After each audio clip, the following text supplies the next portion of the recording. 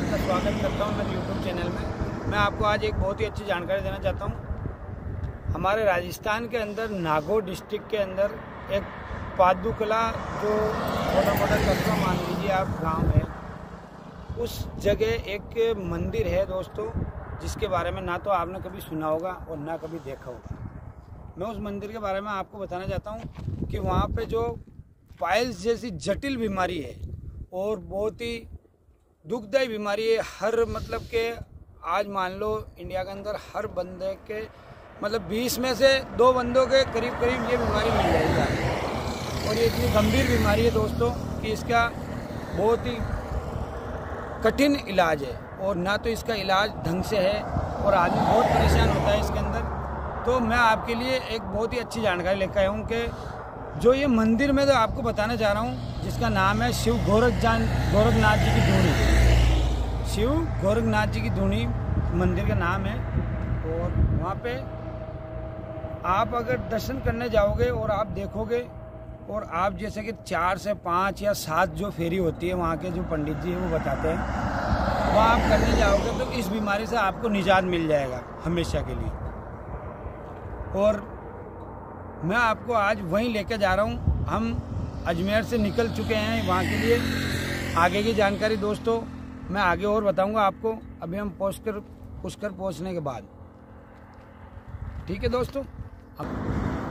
तो दोस्तों, अभी यहाँ से करीबन 80 किलोमीटर के करीब वो जगह पड़ती है और एक गाँव है, सथाना सराना नाम का एक गाँव है। उस गाँव के अंदर वो मंदिर है। मैं आगे की जानकारी दोस्तों, आगे जाकर और बताऊँगा मैं।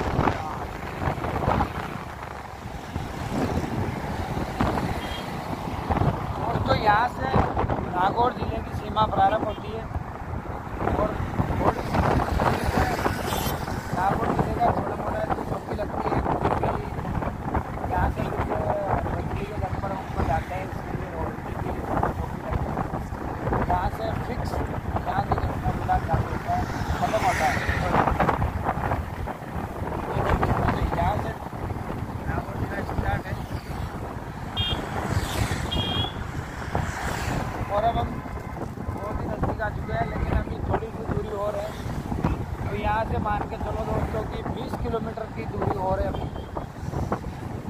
हमारे हमारे हमारे साथ चलिए दोस्तों। हम आपको और भी जानकारी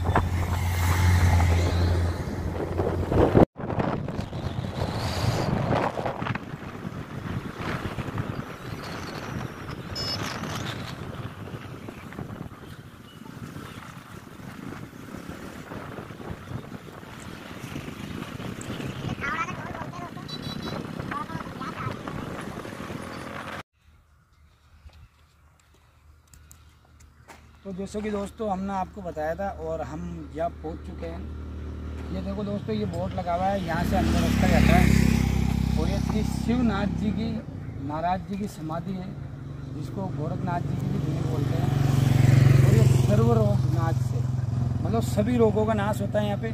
और मेन जो कि मत्सा मुक्ति केंद्र बोलते हैं इसको मतलब अपनी मारवाड़ी भाषा में मत्सा मुक्ति बोलते हैं मत्सा बोलते हैं इस बीमारी को। और अंग्रेज़ी में कहते हैं तो अपने को इस बीमारी को पायल्स बोलते हैं, ठीक है? इस बीमारी का इलाज यहाँ पर झड़ से होता है दोस्तों, और इस तरफ़ मंदिर है दोस्तों, और ये समाधि इस तरफ़ ये धाम है, ये गाँव है, इसका नाम है सथानी। सथानी गाँव है, और ये नागौर डिस्ट्रिक्ट में पड़ता है, नागौर ज़िले के अंदर पड़ता है। और इसकी स्थापना संवत, विक्रम संवत सन सत्रह सौ पिचासी माघ सुधी सात की समाधि को हुई है इसकी, और दोस्तों, यहाँ की और भी जानकारी बताएँगे हम आपको और हम अब मंदिर की तरफ़ प्रस्थान करते हैं, दोस्तों। आइए दोस्तों। मंदिर यहाँ से कुछ ही दूरी पे है। यहाँ से दिखता भी होगा। ये हमारे कैमरामैन साहब यहाँ से कुछ दिखाएँगे, लेकिन थोड़ा दूर पड़ेगा, नहीं दिखेगा, दोस्तों। अब हम यहाँ से प्रस्थान करते हैं। आइए दोस्तों।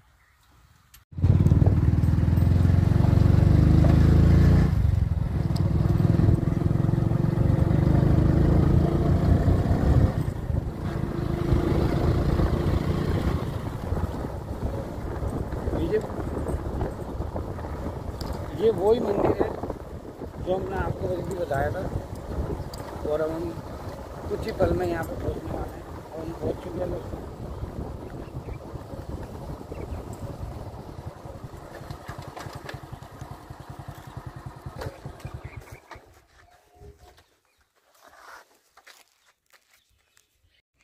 देखिए दोस्तों, ये है बाहर का नज़ारा। यहाँ पे बाथरूम है। ये शौचालय बना हुआ है, यहाँ पे बैठने की भी व्यवस्था है। और ये मंदिर है दोस्तों, देखिए। ये लिखा हुआ देखो दोस्तों, मस्सा मुक्ति धाम। मतलब यहाँ पे मस्सा का, मस्सा रोग का इलाज होता है, और इसको हम अंग्रेज़ी में पाइल्स भी कहते हैं, जैसे हमने पहले बताया था आपको। ये मंदिर है दोस्तों। ये बाहर का नज़ारा है। ये कोई टैंक है, यहाँ पे ऐसे टैंक होते हैं, गोल टैंक। और ये ये। ये मंदिर है दोस्तों, देखो। ये मेन गेट है, यहाँ से हम अंदर घुसेंगे। ये बाहर लिखा हुआ है, देखो। ये एक हज़ार आठ श्री शिवनाथ जी, ओम महाराज जी की जीवित समाधि। यह जो महाराज जी थे, उन्होंने जीवित समाधि ली थी। उसके बाद से ये चालू हुआ है। और ये बहुत ही अच्छा मंदिर प्रांगण है।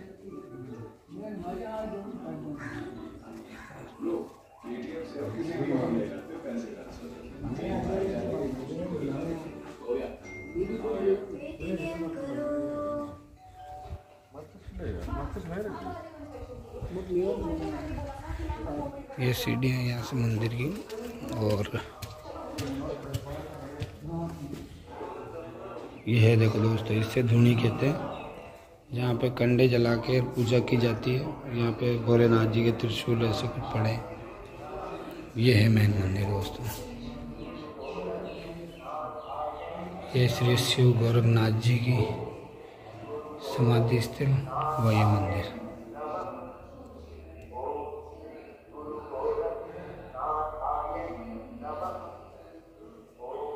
ये देखिए दोस्तों, मैं आपको सारा दिखाता हूँ। ये भोलानाथ जी की तस्वीर है। ये कृष्ण भगवान जी की तस्वीर है।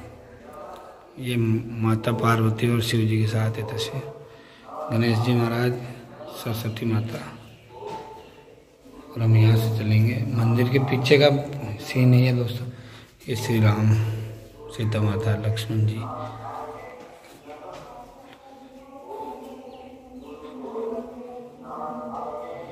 अगर ऐसी प्रॉब्लम हो दोस्तों किसी भी भाई को पायल से ऐसी कोई बीमारी हो मस्से की तो यहाँ पे एक बार ज़रूर आए और यहाँ पे दिख, यहाँ पे दर्शन करके जाएँ। क्योंकि माना जाता है कि यहाँ पे पाँच से सात जो फेरी करता है, उसकी ये बीमारी। ये मंदिर प्रांगण है पूरा दोस्तों, मैंने आपको और भी दिखाई दिया है। ये पूरा मंदिर प्रांगण है, यहाँ पे कुछ पंडित जी है उनसे हम पूरी जानकारी लेते हैं और भी कुछ जो कुछ भी जानकारी है वो पूछते हैं महाराज जी को। आदेश महाराज जी। आदेश।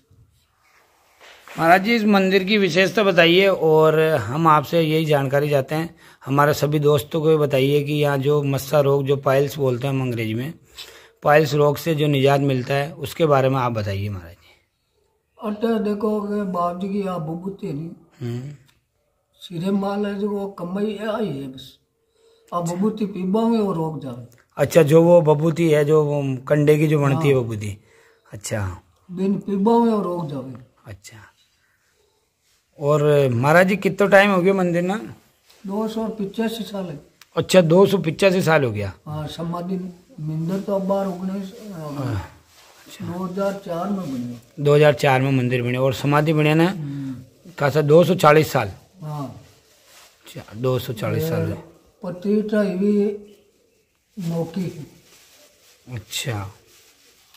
2002 में मैं हटाई अच्छा 2002 में आप अटे मंदिर में आया। अच्छा जी बाद में अटे हो महाराज जी आप दोनों आश्रम में अटे आश्रम में रह रही हो। अटे बाबा जी की सेवा कर रही है और अटे सब कुछ खानो पीनो अटे ही महाराज जी। महाराज जी आपको शुभ नाम? रतननाथ है। रतननाथ जी। महाराज जी आपको? सोमनाथ। सोमनाथ जी। ठीक है महाराज जी।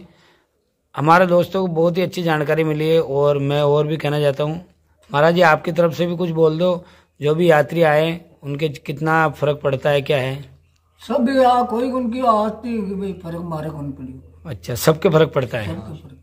चलो अच्छी बात है महाराज जी। चलो धन्यवाद महाराज जी।